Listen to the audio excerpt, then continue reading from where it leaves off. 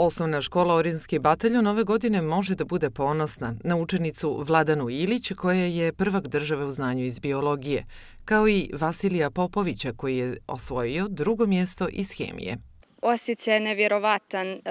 Ja sam srećna prvo što sam uopšte otišla na to takmičenje, a zatim naravno i na uspjeh koji sam ostvarila. Lijepe stvarno osjećaj. Prvo što sam ja sreća zbog sebe, drugo što sam predstavio svoju školu u najbolje svjetlu i eto dugi niz godina stvarno kod nastavnika Olivera osvajaju se nagrade, tako da srećan sam što sam nastavio tu tradiciju osvajanja državnih takmičenja i sjemije. Škola u Bijeloj svake godine iznjedri veliki broj džaka koji su u samom vrhu poznanju iz raznih predmeta.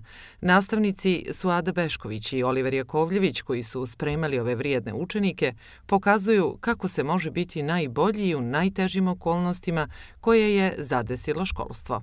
Prošle godine smo e, se pripremali par mjeseci, a ove godine e, isto zbog školskog takmičenja od početka godine, od januara. Tokom priprema možda to što nismo bili učionici, tako da mi nastavnik može objasniti to onako lice u lice, već nam je morao, što mora da mi e, šalje materijal koji ja onda naučim i neka možda je bilo polovično naučeno, ne može koliko god da ja to ponavljam puta, to ne može da se, da se zapamti. Pripremala sam se otprilike dva meseca. E, radili smo od decembra do kraja februara jer je prethodilo školsko takmičenje. Nastavnica Suada Bešković je stvarno odlična i ona mi je puno pomogla u tome da savladam svo to gradivo i zahvalna sam joj što je radila sa mnom.